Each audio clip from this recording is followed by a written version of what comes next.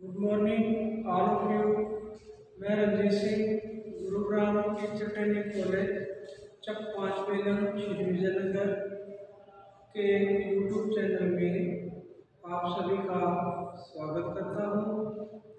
तो अपने जो शिक्षण विषय है विज्ञान के अंदर, उनका अध्ययन कर रहे थे और अपने कल जो है शिक्षण विषय जो विज्ञान के अंदर होता है जीव विज्ञान।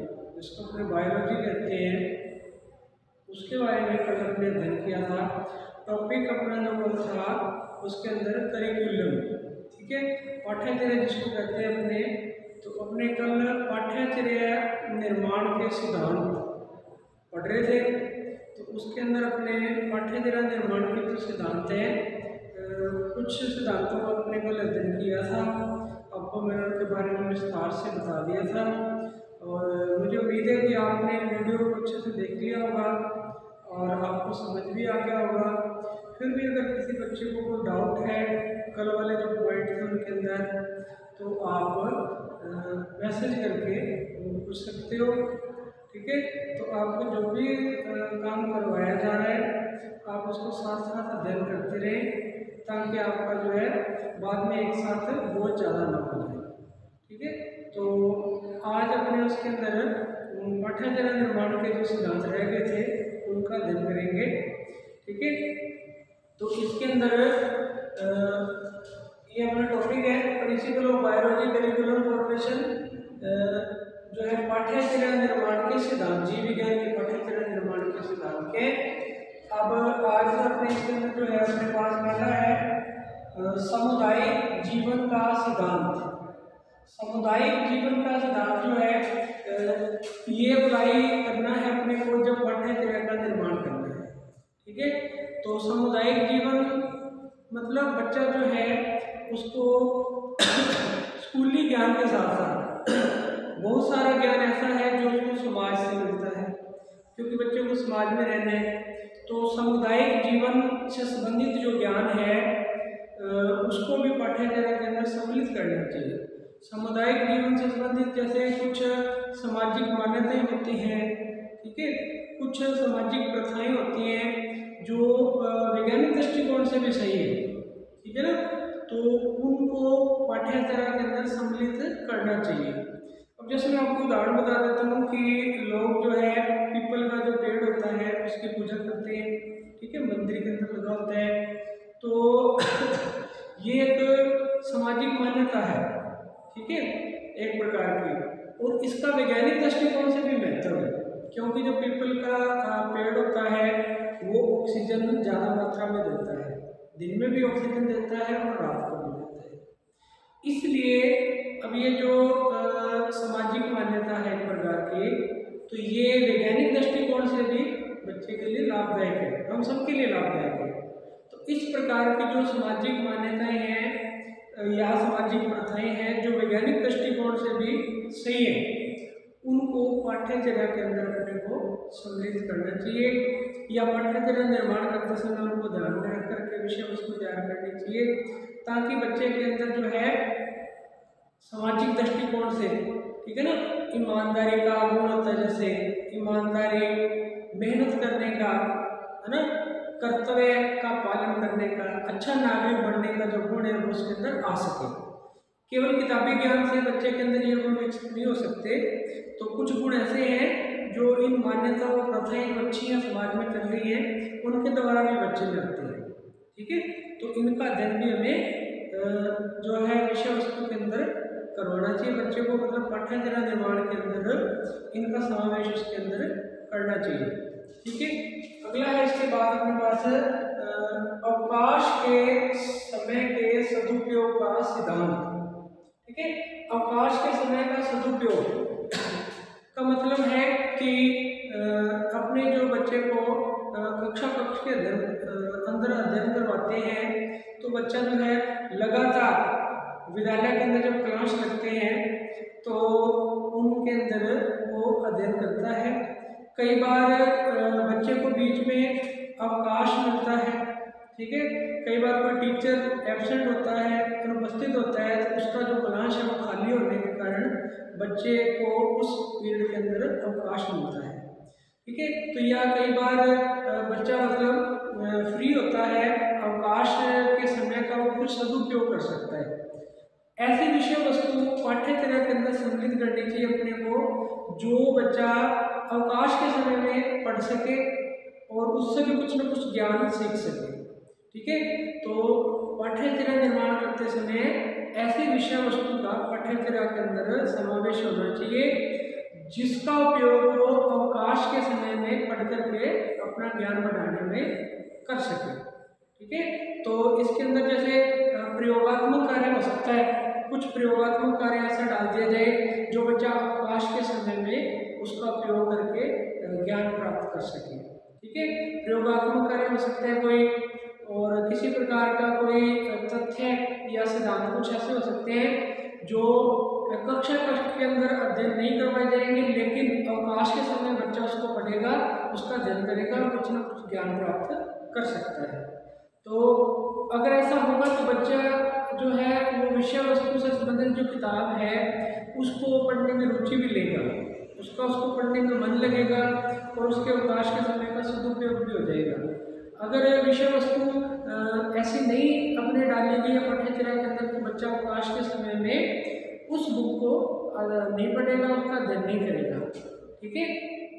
तो ये जो है सिद्धांत जो पाठ्यचर्या का निर्माण करना है उसके अंदर इसका उपयोग भी होना चाहिए। इसके बाद अपने पास आ जाता है व्यक्तिगत विभिन्नता का सिद्धांत। व्यक्तिगत विभिन्नता के बारे में आपको मैंने पहले भी बताया था। व्यक्तिगत विभिन्नता का मतलब होता है कि आ, सभी व्यक्ति अपने कर सकते हैं कि सभी व्यक्ति जो हैं या सभी बच्चे जो हैं जितने भी वो शारीरिक मानसिक और संवेगात्मक शारीरिक, मानसिक और संवेगात्मक रूप से अलग अलग होते हैं, एक जैसे नहीं होते, ठीक है? तो इसी को कहते हैं व्यक्तिगत विभिन्नता, ठीक है? तो व्यक्तिगत विभिन्नता शारीरिक रूप से भी होती है है ना? मानसिक रूप से भी होती है स्वेगात्मक रूप से भी होती है। तो अब मानसिक रूप से विभिन्नता का मतलब सभी की जो आईक्यू जो है है ना, वो अलग अलग है। किसी की बुद्धि ज़्यादा है, किसी का दिमाग ज़्यादा तेज चलता है, ठीक है? तो मनोविज्ञान के अंदर इसको बुद्धि व्यक्ति से मापते हैं आईक्यू कहते हैं आईक्यू टेस्ट तो बुद्धि जो है सभी की अलग अलग है, इसलिए मानसिक रूप से भी विभिन्नता है। शारीरिक रूप से भी विभिन्नता पाई जाती है बच्चों के अंदर। जैसे कुछ बच्चों की हाइट बहुत ज़्यादा होती है, कुछ की बहुत कम भी रह जाती है। किसी बच्चे की जो है, शारीरिक रूप से विकलांगता होती है, विकलांग हो सकता है कोई बच्चा, है ना? किसी को जैसे पोलियो हो सकता है। अब शारीरिक रूप से विकलांग बच्चे भी कई प्रकार के आ जाते हैं, इसलिए अपना ये टॉपिक नहीं है। जैसे किसी की जो है, कोई अंग क्षतिग्रस्त हो सकता है, किसी की आँख खराब हो सकती है, किसी का कान खराब हो सकता है। तो ये शारीरिक रूप से विकलांग बच्चे कहलाते हैं। तो शारीरिक रूप से भी जो विभिन्नता होती है, तीसरा है स्वेगात्मक रूप से विभिन्नता। स्वेगात्मक रूप से व्यक्तिगत विभिन्नता पाई जाती है बच्चों के अंदर। जैसे स्वेग होते हैं, ठीक है आपने पढ़ा हुआ है पहले भी फ़र्स्ट ईयर के अंदर भी संवेग होते हैं, जैसे क्रोध, है ना? भूख, प्यास, नींद, स्नेह ये सभी क्या है संवेग है। ठीक है, जो बच्चों के अंदर परिपक्व नहीं होते। व्यसक अवस्था के अंदर जब आ जाते हैं बच्चे तो उनके अंदर ये संवेग तब मेच्योर हो जाते हैं, परिपक्व हो जाते हैं। तो छोटे बच्चों के अंदर संवेग मेच्योर नहीं होते। कुछ बच्चों के अंदर संवेग जो है, वो ज़्यादा उत्तेजित हो जाते हैं। ठीक है तो इसीलिए संवेगों के आधार पर भी बच्चे अलग अलग प्रकार के व्यक्तिगत विभिन्नता में पाए जाते हैं। अपने को जब किसी भी विषय का जो है करिकुलम है पाठ्यचर्या उसका निर्माण करना है तो उसमें व्यक्तिगत विभिन्नता को ध्यान में रख के पाठ्यचर्या का निर्माण करना है। कुछ विषय वस्तु ऐसी होनी चाहिए, उसके अंदर जो है कम बुद्धि वाले बच्चे भी उसका आसानी से अध्ययन कर सकें। और कुछ विषय वस्तु उसके अंदर ऐसी भी होनी चाहिए या पाठ्यचर्या के अंदर ऐसी व्यवस्था भी की जानी चाहिए जो उच्च बुद्धि लब्धि वाले बच्चे हैं, जिनका मानसिक विकास बहुत तेज़ी से हो रहा है, उनके लिए भी उसके अंदर कोई ना कोई समाधान दिया जाना चाहिए या कोई कार्य ऐसा या कोई विषय वस्तु ऐसी डाली जानी चाहिए जो उच्च बुद्धि लब्धि वाले बच्चों को काम लगाने में सहायक हो। ठीक है? तो मतलब पाठ्यचर्या के अंदर सामान्य बच्चे और सामान्य से निम्न स्तर के बच्चे और कुछ बुद्धि लब्धि वाले बच्चे। और शारीरिक रूप से जो विकलांग बच्चे हैं, उनसे संबंधित। तो तीनों प्रकार के बच्चों को ध्यान में रख करके पाठ्यचर्या का निर्माण करना चाहिए। अगर व्यक्तिगत विभिन्नता को ध्यान में रखकर किसी विषय की पाठ्यचर्या जो है वो बनाई जाएगी तो बच्चों को उस पाठ्यचर्या को समझने में आसानी रहेगी, शिक्षक को पढ़ाने में भी आसानी रहेगी। और, बच्चों को किसी प्रकार की समस्या का सामना नहीं करना पड़ेगा। अगर व्यक्तिगत विभिन्नता का ध्यान में नहीं रखा जाएगा, सभी के लिए समान प्रकार की विषय वस्तु जो है रखी जाएगी। तो उसमें जो सामान्य या निम्न स्तर के बच्चे हैं, उनको, उसको पढ़ने में समस्या आ सकती है। ठीक है? तो व्यक्तिगत विभिन्नता जो है, इसको ध्यान में रखते हुए पाठ्यचर्या का निर्माण अपने को करना चाहिए। इसके बाद अगला है शैक्षिक मूल्यों का सिद्धांत। शैक्षिक मूल्य जो है, जिसको अपने मूल्यों को वैल्यूज़ कहते हैं एजुकेशनल वैल्यूज़ शैक्षिक मूल्य जो होते हैं तो मूल्य कई प्रकार के होते हैं। जैसे सांस्कृतिक मूल्य है ना, आध्यात्मिक मूल्य है, और शैक्षिक मूल्य धार्मिक मूल्य तो ये मूल्य होते हैं अलग अलग प्रकार के। तो अपने को यहाँ पे कौन से मूल्य की बात कर रही है? शैक्षिक मूल्य। तो जब किसी भी विषय का पाठ्यचर्या जो है बनाया जाएगा या किसी भी विषय का करिकुलम तैयार किया जाएगा तो उसके अंदर शैक्षिक मूल्यों को भी स्थान देना चाहिए। शैक्षिक मूल्य अब जो शिक्षा से संबंधित होते हैं, ठीक है? अब शिक्षा से संबंधित जैसे तर्क शक्ति, कल्पना शक्ति होगी बच्चे की। कल्पना शक्ति का विकास हो जिससे, तर्क शक्ति का विकास हो, निर्णय लेने की शक्ति होती है जैसे बच्चे की है ना? तो ये क्या है? शैक्षिक मूल्य ही एक प्रकार के।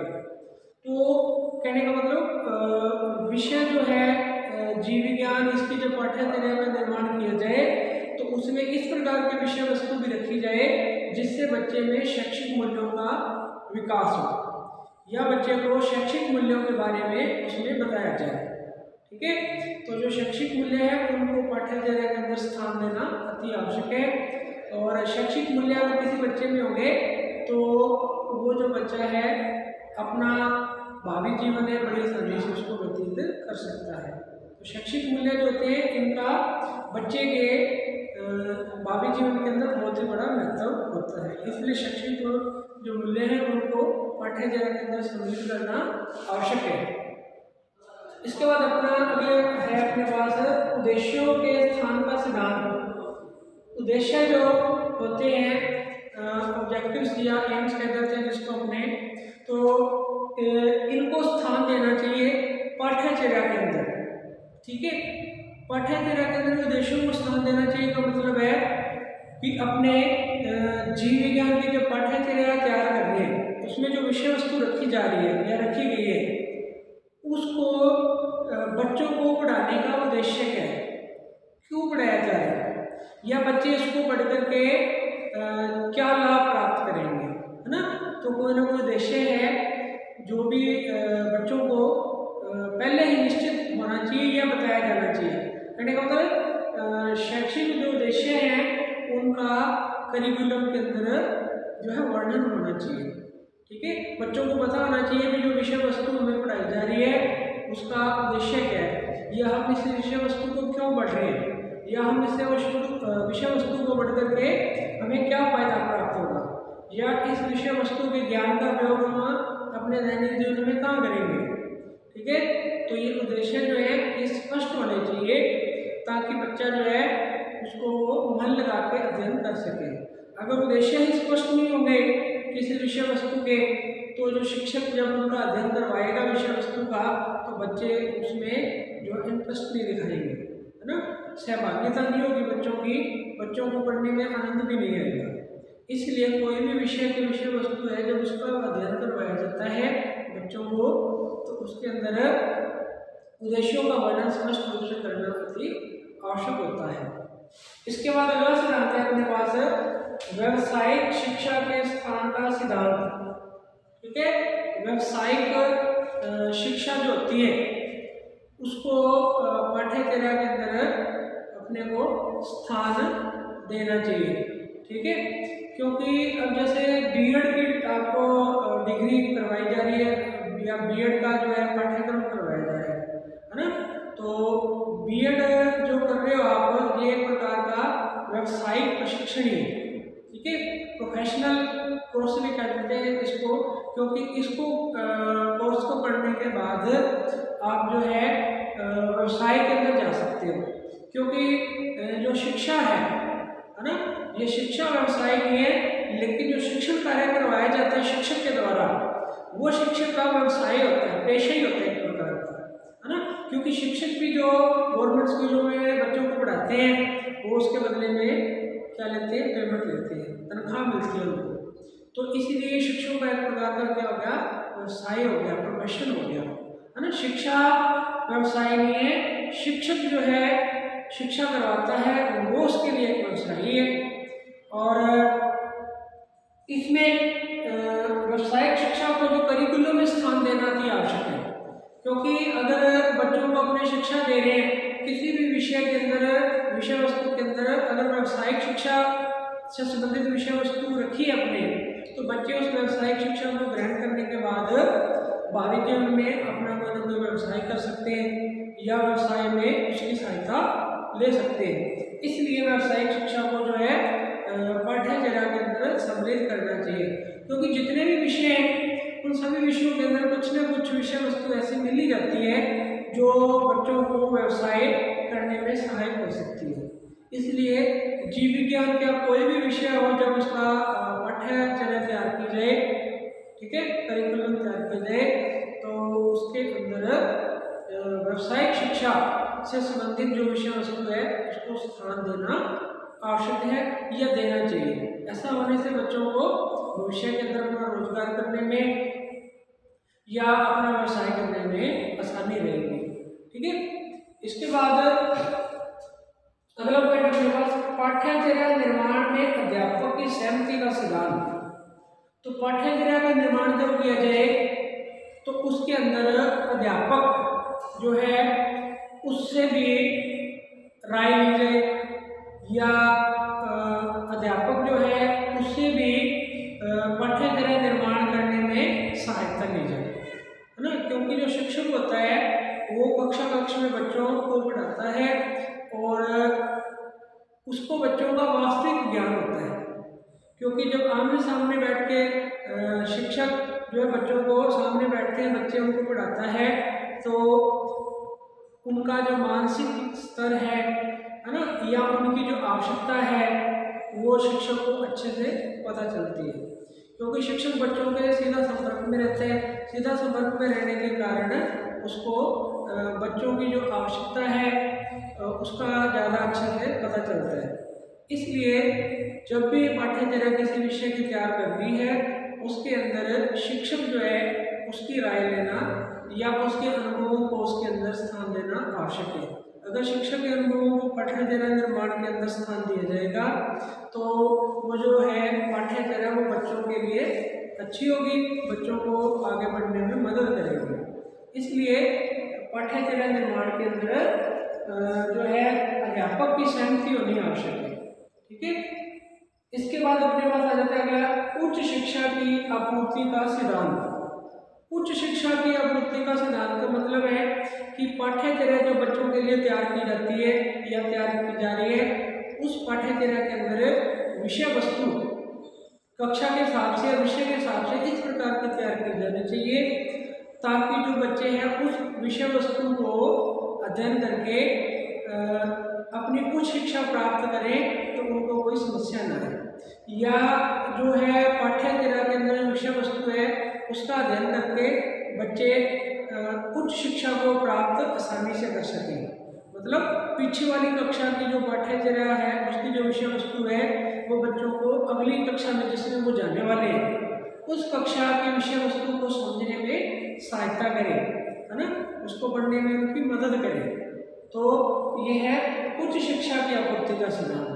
क्योंकि जो बच्चे हैं, वो एक क्लास को पार करके अगली क्लास में जाते हैं उच्च शिक्षा के लिए, या डिग्री पूरी करके वो कोई प्रोफेशनल कोर्स व्यावसायिक शिक्षा में जाते हैं उसके लिए उनको उच्च शिक्षा प्राप्त करनी होती है, या अपने यूजी करके पीजी के लिए जाते हैं तो कुछ शिक्षा प्राप्त करनी होती है।